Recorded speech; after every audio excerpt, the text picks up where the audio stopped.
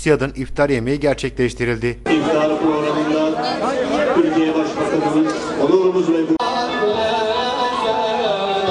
Zafer Meydanı'nda gerçekleştirilen iftar yemeğine Kütahya Valisi Şerif Yılmaz, Belediye Başkanı Kamil Saraçoğlu, daire müdürleri, Kütahya milletvekilleri, AK Parti Kütahya İl ve İlçe Teşkilatı yöneticileri, müsaat üyeleri ve halk katıldı. Müsaadın Kütahya'daki iftar yemeğine Başbakan Erdoğan sinevizyon ile katıldı.